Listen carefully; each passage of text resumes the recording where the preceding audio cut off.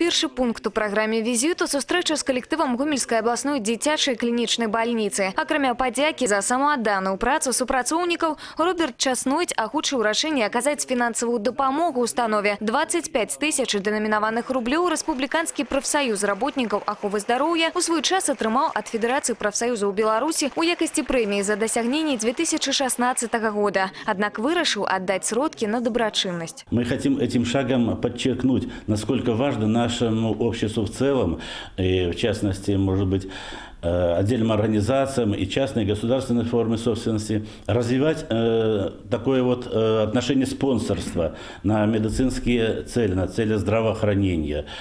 И пусть вот наш такой поступок будет примером для всех организаций, не только Гомельщины самой, но и в республике в целом, Рэканструкцыя дзіцячай абласной клінічнай бальніцы ўключае рамонт дзеючага корпуса і ўзвядзенне двух новых пад хірургічнае і неанатальнае аддзяленні. Дзякуючы фінансавай падтрымцы прафсаюзаў будзе набыта медыцынскае абсталяванне. Это и компьютерный томограф, это и пять операционных, э, которые будут, в которых будут вестись операции и по травматологии, и по лор-болезням, и по детской хирургии. Это будет закупаться все самое современное оборудование. Пасля наведвання дзіцячай бальніцы Роберт Часнойць прыняў удзел у пленуме гомельскай абласной арганізацыі беларускага прафсаюза работнікаў аховы здароўя. Увогуле яго удзельнікамі сталі каля 50 чалавек. Сярод іх галоўныя ўрачы і прадстаўнікі пярвічных прафсаюзных арганізацый з усёй вобласці. На сустрэчы падвялі вынікі гэтага года і вызначылі планы на будучы. Агучылі, што сёння прафсаюз захоплівае амаль 100% медыцынскіх работнікаў Гомельшчыны. Гэта 49 тысяч чалавек і 119 пярвічных прафсаюзных арганізацый. Они есть практически во всех лечебных учреждениях.